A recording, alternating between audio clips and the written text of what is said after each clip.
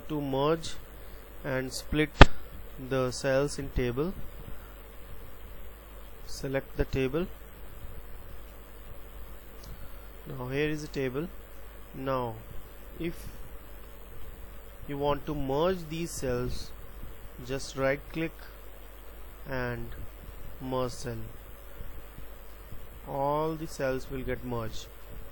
But if you want to slice these into three then you can write if you want the columns you want three columns and one row. Okay it will be divided into three parts.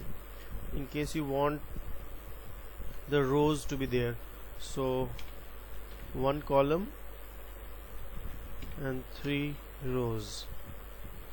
So here you can get the three rows